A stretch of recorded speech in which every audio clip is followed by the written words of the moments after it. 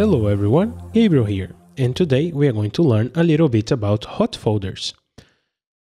As you can see here, I have a few jobs and they are all set up already.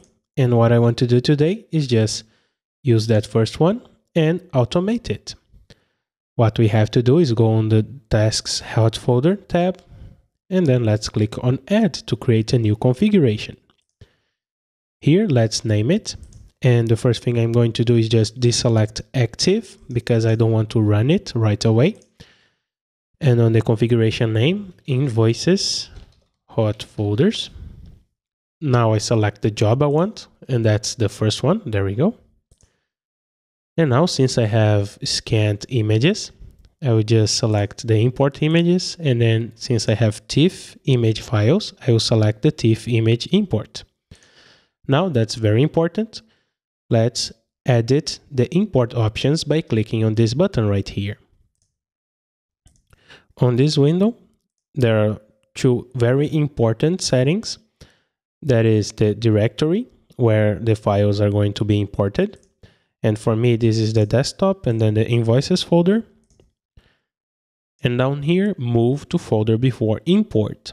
You want to make sure you have some folder here, otherwise ChronoScan will be importing and processing again every time the same files. So when it imports, it will move all the files to the folder you specify here. And if the folder doesn't exist, ChronoScan will create it for you. Now we just click on close because everything else is good. Here we can select the how we do batch handling. I just want to create a new batch for every import session, but you can even have your custom name using some variables here. Or you can also create with using some different rows here. I will just create a new batch. And here you can select if you want to pause the task if an import error occurs. And you can even set up a administrator email. We are going to be talking about those more advanced features on uh, other videos. That's just a introductory one. And now the other very important step is to click on the view processing options. On here, you have to go first on the on input and you can select some actions to happen here. That those are all Visual Basic scripting if you need. And then you have to make sure that on input finish, you select process new elements if you want to process, that is, but that's the normal scenario. And then on process, you want to select the processing you want done. Here, those are options are the ones I need. I want mainly OCR triggers. I want to do OCR. I want to do type detection. I want to read the fields and do IntelliTag. And now on process finish, if you want to export your batch, you just select this option and that's the one I want. But if you just want to process and then correct any errors and things like that, you just don't select it and you can send an email or just beep so you know that the processing was done. I'll just select export. And now here you have some other options for one on export begin and on export finish. That's something that we'll be talking about on other videos as well. I'll just click OK now and then click on Save. Right now, you can edit your configurations. There you go. But all I want is to activate that one and then run it. To do that, I just click on Activate up here and I have to highlight it and then click Activate. As you can see now, the icon has changed. And now I will just click on Start Hot Folders. I will select the correct configuration and close ChronoScan. Now on your taskbar, you'll see that icon and that icon. That's the console and that's the notification service. And as you can see here, ChronoScan saw the files and I'm going to show you here. Those are the files. And ChronoScan will be now importing and processing everything. As you can see, you can set the delay for the files to start processing.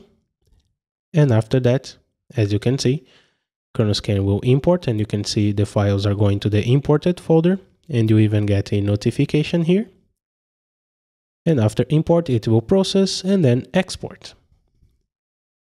You just have to sit and wait or do something else.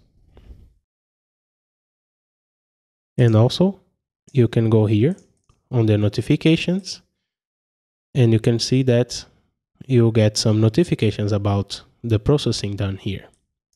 Now, I'm just going to wait for ChronoScan to finish everything.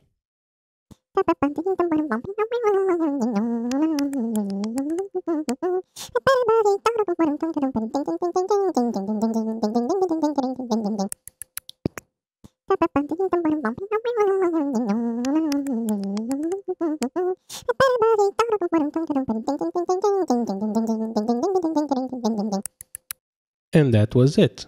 ChronoScan finished processing. And if you go to the notifications, you will see here a new entry. And that's the, the entry ChronoScan just did. Now, if I show you the export folder, you can see here the, the folder structure and then the batch name. That's the name, the default name. I had a XML and here you can see the information. And if we go down, you can see here there, there are data errors. So exporting the batch might not have been a great idea. And we also have all the PDFs. I also had a nuance compressed PDF export. Now, if you want to open ChronoScan, you can just open the notifications. And you can see that's the, the final, the finished one. And you click open that will open ChronoScan for you. And you can see that's the batch that we just did. You can see here the errors. We have some errors here. So exporting might not have been a good idea. And then again, you can have the files here. You can either fix the errors and then export again, or you can not export and then fix the errors before doing the export manually. So that's it guys. I hope you liked it and I will see you on the next tutorial. Bye bye.